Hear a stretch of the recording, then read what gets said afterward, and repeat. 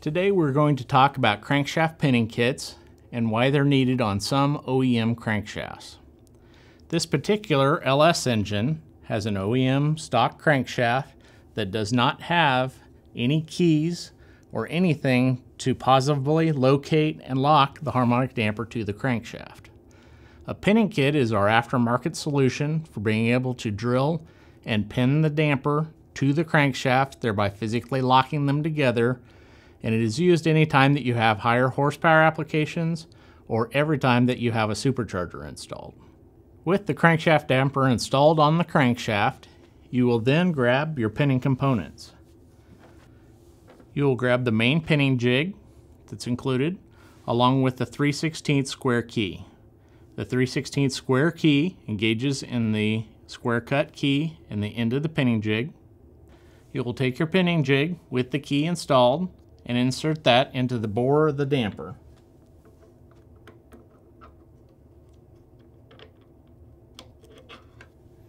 You'll press the pinning jig all the way until it contacts the end of the crankshaft.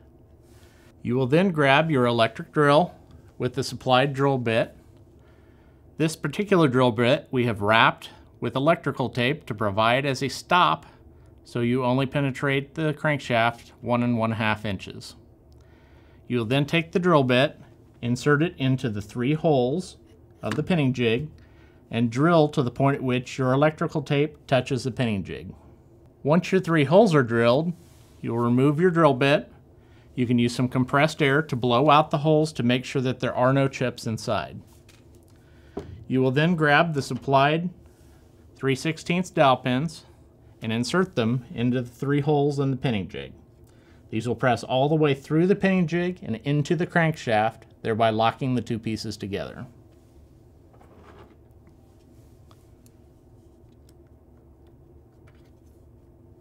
After inserting the three pins and making sure that they're flush to the face of the pinning jig, you may now grab your crankshaft bolt and washer, making sure that the washer with the raised head goes underneath the head of the bolt, and then insert that into the end of the crankshaft hand tightening till it stops, and then using your torque wrench to torque it to spec.